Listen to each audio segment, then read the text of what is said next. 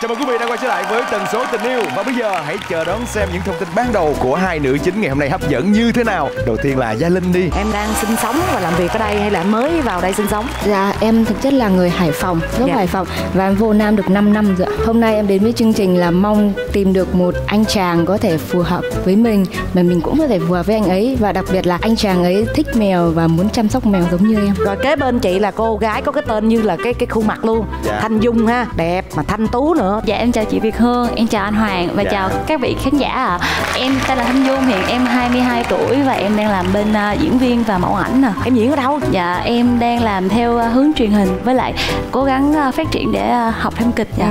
Em tốt nghiệp trường à, sân khấu điện ảnh. Diễn viên luôn mà đã thử qua tất cả các loại da cho nên sẽ cảm thụ được cái chân thật hay là không chân thật của các anh chàng. Nghe giọng nói thôi nghe giọng biết. nói và cái cảm xúc cho nên bốn bạn ngày hôm nay cũng là hơi áp lực cho bốn bạn một tí nhưng mình là đàn ông mà hôm nay mình đi kiếm một người bạn gái đồng hành có chung với tần số hay không thì có bao nhiêu cái hay ho là các em phải Trời bấy nhiêu luôn. chơi bấy nhiêu luôn. Và bây giờ sẽ là sự xuất hiện của bốn chàng trai. chàng trai đầu ngồi rất là thẳng lưng cảm giác là cao ha. Dạ. nhưng mà cái anh chàng số 2 rất là cao tại anh chưa thẳng lưng anh thẳng lưng cái là mất màn hình luôn. Đó mất cái đầu luôn. anh chàng số 3 ngồi thẳng lưng lên nè. À đẹp trai Ờ, không có mũi cao, mũi cao. đẹp trai quá. À, anh chàng số 4 ngồi thẳng lưng lên nè.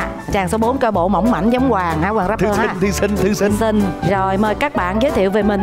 Xin chào mọi người, mình tên là Châu Phú, năm nay mình 24 tuổi. Công việc hiện tại của mình là biên tập viên. Sở thích của mình là đi du lịch, trò chuyện cùng với lại những người bạn. Hai bạn nữ ơi. Dạ. Anh đã dành cả thanh xuân của mình để biên tập nhiều chương trình truyền hình, nhưng chưa có thời gian để biên tập riêng cho mình một cuộc tình đầm sâu. Hy vọng là đến với chương trình tần số tình yêu ngày hôm nay thì à, mình sẽ tìm được một à, người bạn gái đi hết cái quãng đường còn lại. Trời ơi, nghe giống như xài hết thanh xuân này vậy chị. bởi vì cái nghề nào cái đó em thấy không Dạ. ta biên tập mà ta chuyên môn viết những câu ngôn tình đồ Cái tần số đầu tiên đã xuất hiện, anh chàng này biên tập, còn cô nàng Thanh Dung thì lại là cũng làm diễn viên bên mảng truyền hình nữa. quê em ở đâu Dạ em ở Huế à. ở huế rồi mời bạn số 2 ạ Lời đầu tiên thì cho em gửi lời chào đến chị Việt Hương, anh Hoàng, hai bạn nữ và cùng toàn thể các bạn có mặt trong trường quay ngày hôm nay. Mình tên là Bùi Ngọc Duy Chính, năm nay mình 23 tuổi. Công việc hiện tại của mình là người mẫu và bên cạnh đó thì mình có là một huấn luyện viên gym. Mình rất thích đi bơi và nấu ăn. À, nếu mà hai bạn nữ có thích nấu ăn thì về đội của mình nhá. Bạn quê ở đâu? Quê gốc của em ở Hà Tây, nó gần chùa Hương. nhưng mà nếu rước dâu á có vợ rước dâu về chùa hương không Thì bây giờ gia đình em ở trong đây rồi mà. à gia đình trong đây hả Có nhà trong đây vẫn còn ngoài đó cũng có luôn. ý là nó hai căn nhà mà nãy thấy cao nữa hả hoàng ha Dạ. kêu ngồi lên cái mất cái màn hình luôn cao mét mấy nè 1m85. Người mẫu ảnh mà. thôi bây giờ qua anh chàng số 3 đi chứ anh chàng 85 này tôi mệt rồi Mà em đoán anh chàng số 3 cũng cao không kém đâu. Dạ. Chào bạn. Xin chào tất cả mọi người, hai bạn gái xinh đẹp, đặc biệt là hai vị MC anh Hoàng rapper và ông nội Việt Hương à, ông nội Việt Hương à, ông nội Việt Hương à. thương quá à. này chắc fan tôi nè à mình xin tự giới thiệu, mình tên là Nguyễn Trung Hậu, năm nay 24 tuổi. Công việc hiện tại của mình là giám đốc kinh doanh. mới 24 tuổi mà làm giám đốc rồi À, em cũng có quản lý một cái spa tại nhà và một quán trà sữa. Em thì cũng biết ờ, ngôn tình gì lắm, đặc biệt ờ, yêu mèo và cũng biết rap sơ sơ. Nếu ờ, bạn nữ là một tiếp người ờ, thích làm đẹp và thích kinh doanh thì hãy cho Hậu cơ hội đồng hành cùng bạn nhé. hậu ơi hương với hoàng muốn hỏi hậu là hậu quê đâu Dạ, em quê Bình Dương á chị. dạ, gốc gác ra đó giờ làm ăn trên này gia đình trên này luôn ha em Dạ gia đình thì vẫn ở quê ạ. thôi bây giờ mời anh bạn số 4 đi Dạ và lời nói đầu tiên cho em gửi lời chào tới chị Phương và anh Hoàng Rapper và các bạn ờ, trong ờ, khán phòng ngày hôm nay ạ. Mình tên là anh Duy, hiện tại mình là đang ờ, kinh doanh trà sữa tại nhà và sở thích của mình là đi du lịch, đá bóng, nghe nhạc và chụp hình. Ờm, hiện tại mình độc thân, rất mong hai bạn nữ ờm, có thể ờm, cho mình một cơ hội mỗi ngày pha trà sữa cho bạn nữ đúng. Trời ơi, đó. Mỗi chàng trai đều có những điểm sáng và những ưu điểm của riêng mình. Chờ đón xem họ sẽ thể hiện như thế nào qua những chiếc ốp lưng điện thoại. Xin mời. Bốn chiếc ốp lưng điện thoại của bốn chàng trai. rồi đúng là anh trai bây giờ nè bốn cớp lưng thì cái màu nó bình thường mở cái màn hình đằng trước đi Mỗi chàng trai sẽ chọn một cái phong cách hình ảnh khác nhau trên màn- màn hình nền của mình. dung ơi em ấn tượng với màn hình nền nào Em ấn tượng số 2 với số 3. Hậu ơi em biết lái mô tô hả? Dạ biết chị. chị cũng thích lắm mà chị leo lên không tới. Hiểu không màn hình số 2 cũng hay ha. Thì lúc mà mua điện thoại thì em cũng để như vậy luôn chứ em cũng không, không biết nó là cái gì luôn. cho em đổi hình dung hoặc là linh lên đó. Còn nếu mà hôm nay hai bạn không đổi chị gửi hình chị qua cho em để lên Không mà rõ ràng chắc là anh chàng Duy Chính này là người chung thủy á chị. Trước sau như một mua điện thoại sao để y chang vậy đó. Không rồi đổi. chúc chị gửi hình. Được chị. Còn với uh, Gia Linh bạn thích màn hình uh, nền nào? Dạ em ờ, thích màn hình nền số 4. Đưa tay với lấy bầu trời. Ủa chứ không phải vợ ơi đưa tiền xài. Trời ơi tụi em giờ là mình chương trình tần số là Nghệ tới tiếng nó có vợ chồng hiểu không? Cho chị biết ý nghĩa của bàn tay xin tiền đó hả bạn số 4 À, tấm hình này là một đợt em đi biển xong rồi em ngủ ngoài bãi biển luôn em không vào phòng em ngủ. Sáng sớm em thức dậy thì em thấy ờ, mặt trời lên thì vừa ngay tầm mắt em luôn là em đưa tay em chụp luôn. Thì lúc đó trong đầu em nghĩ á giống như là mình đưa tay hướng tới một cái gì đó tươi mới cái gì đó sáng sủa hơn chứ không như màn đêm cô độc của mình nữa. À. Linh ơi em có thích đi biển không linh? Dạ thực chất là em rất là thích đi biển nhưng mặc dù em không biết bơi. Đi biển em không có tắm mà em thích đi dạo quanh bờ biển. Anh cũng thích như vậy. Em mới đi được có biển Vũng Tàu Tại vì Tàu. vô trong Nam thì thực sự là 5 năm đối với em là Đi em làm đúng không? Đi làm suốt à Em không có được em ơi số 4 ơi. Dạ. Ở Hải Phòng có biển Cát Hải cũng đẹp lắm đó nha. Đó cho nên mình có cơ hội lắm nha. Dạ. Dạ em cũng thích biển lắm em cũng thích biển lắm. Em ơi dung Em cũng ơi, thích Dung biển thích lắm biển luôn. em ơi. nói chung là Wow. cái dòng biển hiện giờ đang ngon nha. Núi số 1 là có bộ không êm Vùng núi chưa thấy núi. sao dung em nói? Em cực kỳ mê biển thì em cũng thích cái cảm giác yên bình trước khi mà bình minh buổi sáng hoặc là buổi chiều á. Em thích đi cực dạo kỳ- hay đi tắm? À, em vừa thích kiểu đi dạo mà cũng thích chơi tắm để đi về với bạn bè hoặc là với người yêu á. Nó cảm giác giống như là mình thư giãn hết mọi stress luôn á. Anh thích là nắm tay người yêu đi dạo mà lúc ờ, hoàng hôn mà đi Dạ. trên bãi biển á. Với lại thì ờ, anh không thích đi những bãi biển quá đông. Khá là giống với em là những bãi biển nó hơi yên bình một chút yên bình một Dạ. chút. Em ờ, thích ờ, bãi biển nào để anh lên lịch anh có thể dẫn em đi? Em cực kỳ thích nha trang. Nha trang. À, anh có- anh cũng muốn một lần đi nha trang thử. Dạ nhưng mà có một lần thì em đi vũng tàu thôi chứ là buồn cái xách xe tự đi à. Tới đi một mình hả? Dạ đúng rồi ạ. Nói chung là anh chàng số 4 này nhờ cái bãi biển thôi. Thiệt tình nha nữ đó cái đây là cái tâm lý thôi. Chị chị chị nghĩ thôi là con gái thường thích biển hơn. Cái bạn nào hơi cá tính một chút mới thích núi rừng. Rồi thích chinh phục đỉnh núi rồi thích vô rừng này nọ. Cho nên với hai bạn số 1 với số 4 là hai cái hình ảnh khác biệt luôn. Nhưng mà mình đừng có thấy biển mà mình quên núi nha. Tại vì em hay em lắm á. em cũng thích núi nhưng mà em chỉ thích đúng duy nhất một nơi đó là đà lạt thôi. Tại sao? Có nhiều chỗ chụp hình. Đà lạt nó cũng là mang cái cảm giác cho mình một cái cái sự yên bình. Thì Dung ơi, ở đây có núi có biển và anh có xe. Anh có thể chở em lên núi xuống biển được. Em có trao cơ hội cho anh không? trời ơi. À, nói chung là anh là xe ôm cho em đó. Ừ. nói chung là xe ôm chở ra biển gặp anh biển hoặc anh núi Dạ, thiệt sự thì hôm nay nó cũng hơi khó với em bởi vì mỗi anh có một cái yếu tố mà bản thân em cần. Giống như em thích biển nhưng mà em cũng thích mô tô, nên là em cũng đang kiểu đang đắn đo rất là nhiều. biển với mô tô ơi hai anh chàng trà sữa ơi người ta vẫn cần mô tô để chở ra biển bây giờ hai đứa hợp tác đi Anh chính ơi cho Dung hỏi là Dung cảm nhận là anh à, sống khá là đơn giản nhưng mà cũng hơi nội tâm đúng không ạ? Đúng rồi. Anh có thích biển không? Anh cũng thích biển thì ví dụ như là thời gian rảnh thì anh thường đi là đi bơi hoặc Dạ. không thì anh chỉ nấu ăn thôi. em biết bơi không? Dạ có. Em. nè được hai đứa bơi. Linh biết bơi không? Dạ, Em không. Em mới nói là em ra biển chỉ đi ngắm linh không biết bơi nè. Có có tập Anh, là được anh có thể dạy em bơi Anh được. có thể dạy cho em bơi được. Anh chính ơi, anh là người miền Bắc giống em Thì là anh vô với gia đình hay là một mình? Lúc trước thì anh vô đây cùng với bác thì bây giờ thì anh sống một mình. Còn gia đình thì vẫn ở ngoài đó. Gia đình của em có bao nhiêu người? Gia đình em có bốn người. Ờ, cũng giống như anh. Anh cũng có bốn người. Anh có một người bố mẹ và một người em trai nữa. Ờ, thế thì em cũng có một người em trai anh ạ. Ôi ôi, quá. em trai mấy tuổi em trai Dạ, em trai em năm nay lên lớp 5 à lên lớp 5 còn uh, 9 Ờm, em trai của em thì là học ừm, lớp 12 rồi bạn ơi mời màn hình bên trong của bạn số 2 dạ gọn gàng sắp xếp chỉnh chu. Mình vô à, hình đi. Mình coi cái mà em chụp hình gia đình nè bạn bè. Trời ơi còn đây là ví dụ như là đồ ăn thì bình thường em tự chuẩn bị cho bản thân. Em chuẩn bị luôn á hả? Dạ đúng rồi. Nó chia thành 6 bữa đều. Còn ví dụ như đây thì là bữa cơm mà em thường nấu ở nhà trời ơi linh với dung ơi. Vậy là tụi em về chỉ ăn thôi chứ đâu cần làm gì nữa. Khéo quá khéo hơn tôi luôn rồi. Cho em hỏi hai bạn luôn luôn thì hai bạn có thích ăn cơm ở nhà không ạ? Dạ dĩ nhiên là có rồi. Tại vì thật sự là em vô Nam được 5 năm nhưng phần lớn các bữa cơm của em đều tự em nấu tự món tủ của em thì em thường thích món gì ạ? Em thích những gì liên quan đến gà. Cùng sở thích với anh anh không thích gà. Gà. Còn dung? Dạ thì em cũng thích ăn cơm gia đình lắm nhưng mà tại vì do một phần tính chất công việc thứ hai nữa là gia đình em rất là ít người. Thì chỉ có hai người thôi cho nên là Em cũng, với ai? Dạ em với mẹ. gia đình con một. Chính ơi. Dạ. Em về em làm rể là thôi rồi luôn rồi. Nhất là mẹ vợ nữa ha. Tuổi chắc cổ cỡ khoảng 50 mà đẩy khẩu phần ăn tốt sức khỏe đẩy ra cái là thôi.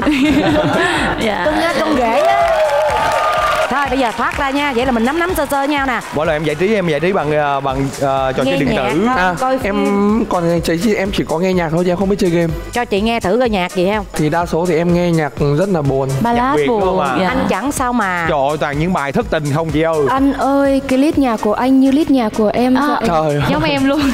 Hả? Linh với dung là có giống nhau á. Dạ. số 2 xong rồi mở số 1 ra. Bây giờ là linh ơi. Dạ. em em em có thấy gì đặc biệt không? Sao chị thấy quá trời rối rối rối quá. Anh cho em xem về hình ảnh của anh được không? đồ ăn đồ uống gia đình em Đi có con cuốn kìa. Ở nhà bạn có nuôi cuốn hả? Dạ không, cái này là hình ảnh em đi tác nghiệp à. Hai bạn nữ có ờ, thích ờ, động vật không ạ? Em không những thích mà em còn cuồng Nhất là loài mèo luôn đó anh. Bây giờ mình khai thác thêm một số cái ứng dụng nào à, Phú ơi? Dạ. Ờ, Hình ảnh thì à, đa số là về công việc rồi. Cho em hỏi hai bạn nữ một xíu nha. Theo hai bạn thì trong cái chuyện tình yêu á Thì ờ, hai bạn ờ, đề cao những cái gì? Sự chân thành ạ. Gia Linh thì trả lời là chân thành Còn Thanh Dung? Dạ em cũng ờ, chân thành luôn. Bởi vì cái chân thành thì mới thể hiện được cái chuyện tình cảm của mình mới thể hiện được cần chung thủy không dạ cần Chân thành người bán online này nên cần chung thủy. Dạ đúng rồi. Và chân thật.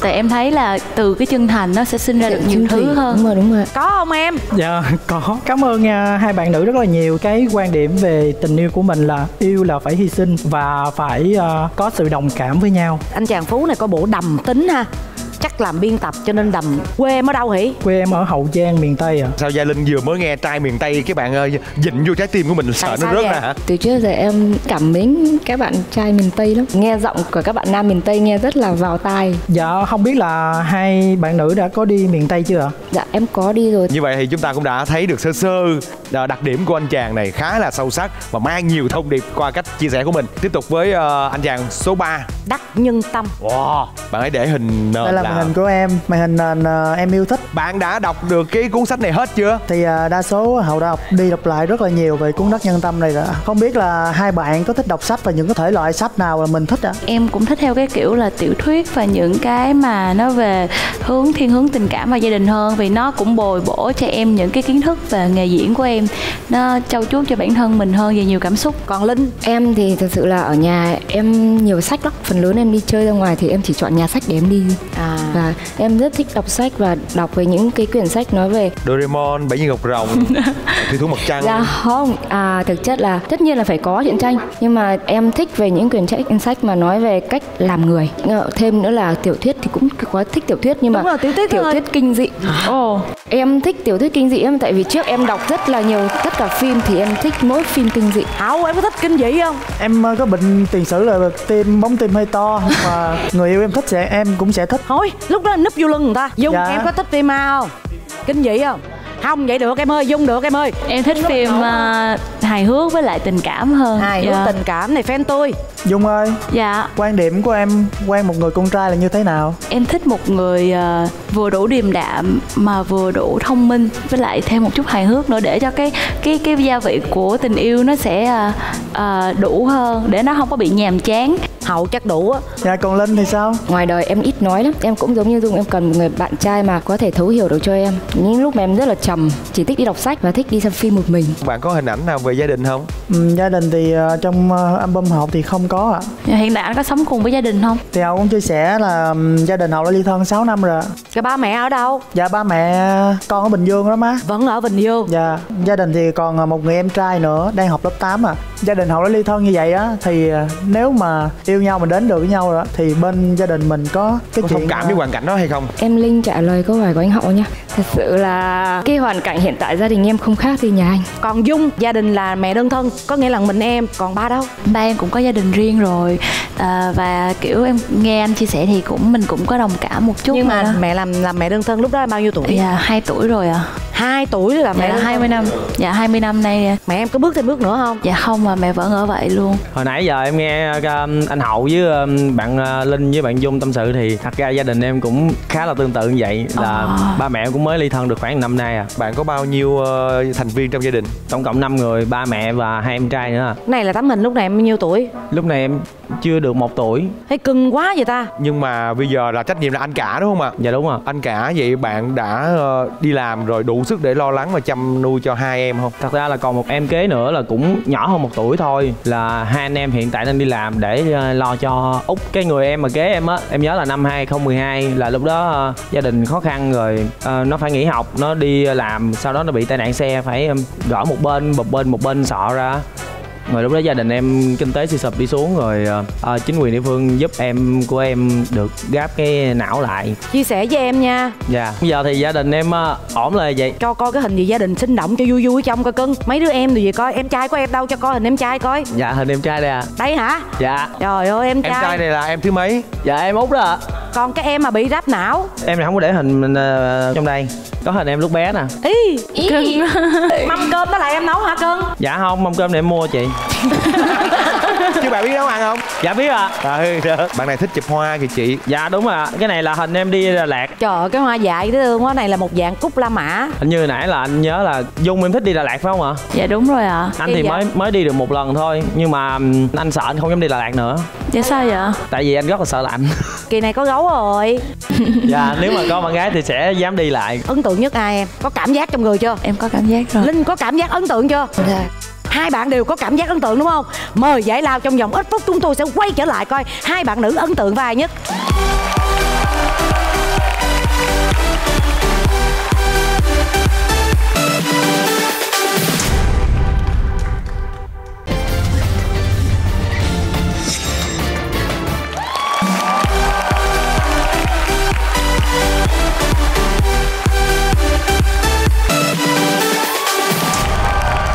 quay trở lại với tần số tình yêu. Và bây giờ hãy chú ý lắng nghe xem phần ấn tượng của hai người đẹp sẽ thuộc về vị trí thứ mấy. Thanh dung. Em thì à, muốn à, tìm hiểu sâu hơn anh số 2 là anh duy chính nè. Duy chính chúc mừng bạn. Bạn đã có cơ hội bước vào vòng trong. Còn với gia đình Dạ em ấn tượng anh họ số 3 anh hậu số 3 chúc mừng bạn trung hậu. Chỉ còn một tấm vé nữa mà thôi. Thôi bây giờ phải nhờ đến người phụ nữ đầy kinh nghiệm về tình yêu tình thương. Chị ấn tượng với chàng trai nào nhất? Để cho bạn dung và bạn linh thêm một cơ hội tìm hiểu nữa chị xin giữ lại bạn số 4 như vậy chị Việt Hương đã quyết định giữ lại bạn số 4 là bạn anh Duy. Chúng ta sẽ ờ, gặp gỡ. Dạ gặp gỡ anh chàng Châu Phú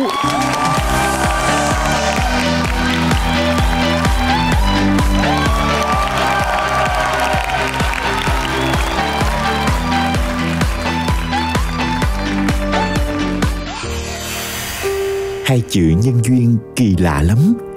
Lạ như chính cảm xúc của con người vậy. Thích một ai đó, đơn giản chỉ bởi trái tim mình rung động. Cảm xúc với cô gái trước mặt anh ngày hôm nay cũng vậy. Khó hiểu. Không biết phải giải thích sao, cũng chẳng thể gọi tên. Anh ngồi đó, cách em vài bước chân, nhưng chúng ta chỉ dừng lại ở cái chạm mắt điển trai đó không ngờ biên tập viên còn đẹp trai hơn MC nữa trời ơi. Cảm giác như thế nào khi mà mình phải nói lời tạm biệt ngay bây giờ? Được đến đây để mà mình có thể là tìm hiểu về à, à, một nửa của mình. Nếu như mình được đi tiếp á, thì mình sẽ có thêm một cái cơ hội. Mà nếu không được đi tiếp thì mình cũng được gặp gỡ hai MC rất là xinh xắn và cũng như là hai bạn nữ cũng rất là duyên dáng của chương trình. Thì đó là một điều chị rất nghĩ là may mắn. lại đi. Hai mc duyên dáng và hai bạn nữ xinh xắn. Ờ rồi. Đố em ai là dung ai là linh? Em chỉ thôi. Em nghĩ linh là bạn bên này. À, Còn- còn dung là bạn bơi bạc kìa bên đây. Về là đúng rồi vậy là chưa tần số chưa rung tới. Mặc dù ngày hôm nay chúng ta chưa tìm thấy được tần số trong tình yêu nhưng còn đây rất nhiều tần số khác ở bên ngoài. Chúc bạn hạnh phúc trong tương lai nha. Dạ em cảm ơn anh. Cảm ơn bạn rất nhiều